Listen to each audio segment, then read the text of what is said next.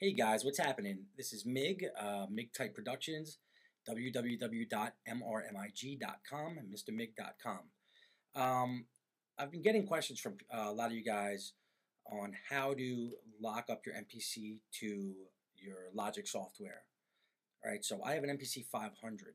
The one thing I could say is that with the MPC 500, and I'm not sure about the other ones, you can't use it as a controller, or at least to my knowledge right now, I've tried everything. It can't be used as a controller.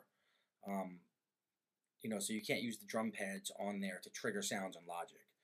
But you could do the opposite. You can actually play off your keyboard the sounds that are in your MPC, which is good for, you know, uh, it's good if you want to have a different kind of control over your MPC. And also, you could then save the MIDI notes in the Logic sequencer.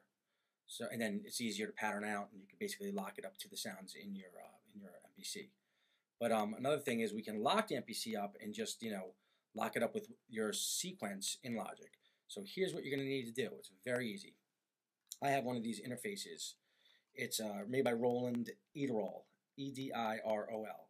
It is a uh, USB to MIDI interface.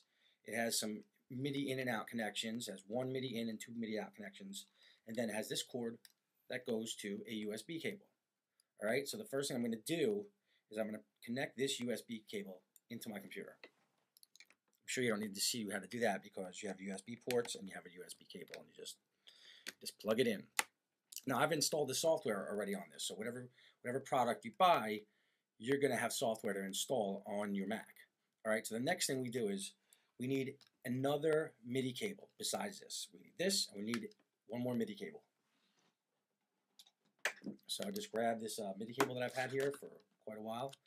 And I'm going to plug this into the uh, into the import, I believe it is. Let me just make sure. It's been a while since I've done this. I'll just tell you in a second if it works. If it's not the in, then it's the out. It's always one or the other, obviously. But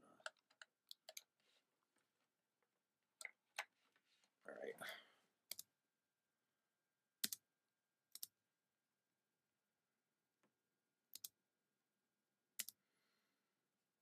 Okay.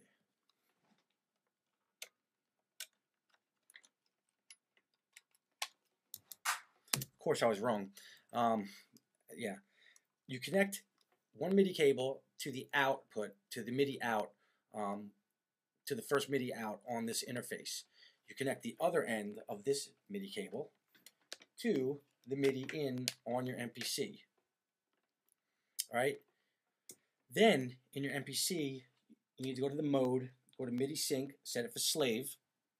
And what's going to happen is now when you press now when you press play in Logic, your MPC is going to follow right along.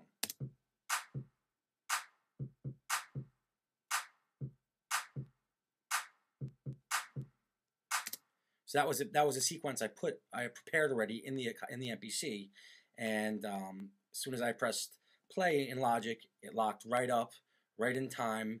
And then what you could do is you can record the sounds out of your MPC via audio into your into your laptop or into your into your uh, desktop, and have the uh, the tracked out parts already synced up to your sequence. That's the best way to do it. That's how I do it. All right. So the next thing you have to do is uh, there's one more step uh, to get everything synchronized.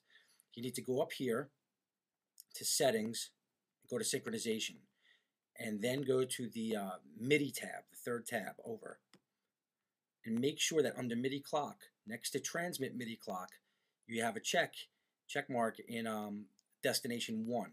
Make sure that's set to either all or the name of your USB to MIDI uh, interface, which for me is the UM21. But I'm going to set it to all just to be safe.